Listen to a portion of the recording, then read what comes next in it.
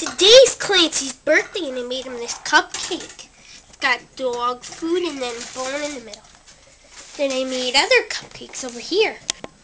Ooh la la. Here's the birthday boy. Hey Clancy.